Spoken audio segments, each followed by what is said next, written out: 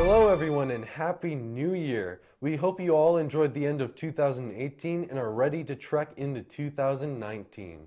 To start this year's news off, we have a couple stories for you, including an interview.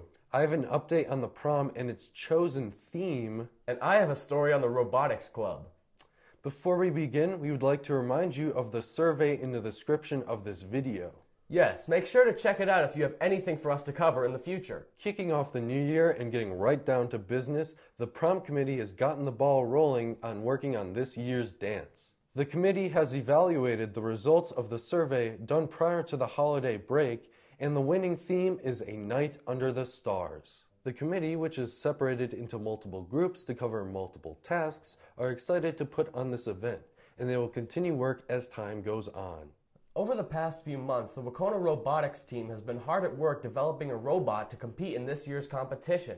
We now bring you an interview with Mr. Pike to discuss the team's progress so far. Uh, so, Mr. Pike, what is Robotics Club working on at the moment?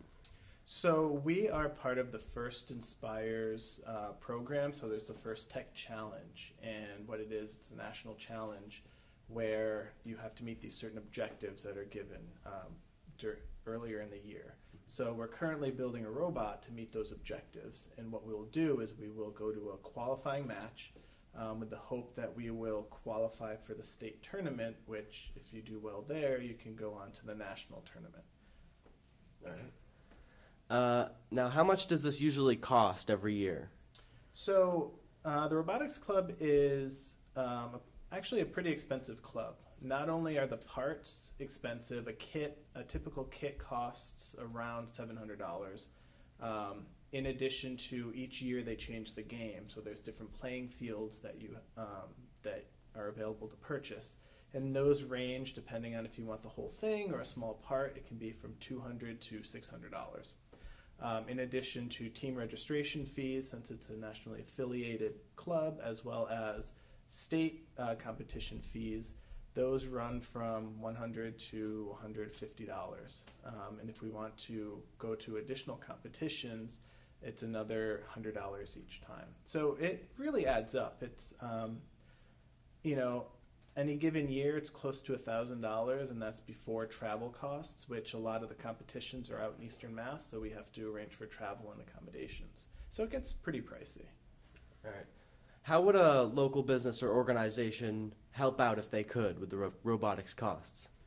Um, if any businesses out there are really interested in helping us, uh, that would be greatly appreciated. Um, the best way they can do that is we have a website that's www.wahconahrobotics.com.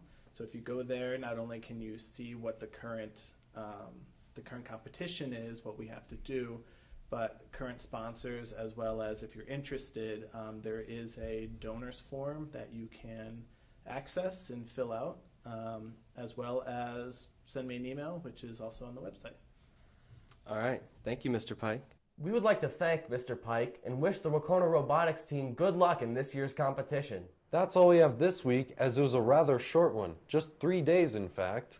Being the first week back from vacation, too, the school was busy getting back on track, so the news was slow. Nonetheless, we're happy to be back informing you of the happenings here at Wahconah. This has been Zach. And Ryan bringing you Wahconah Weekly.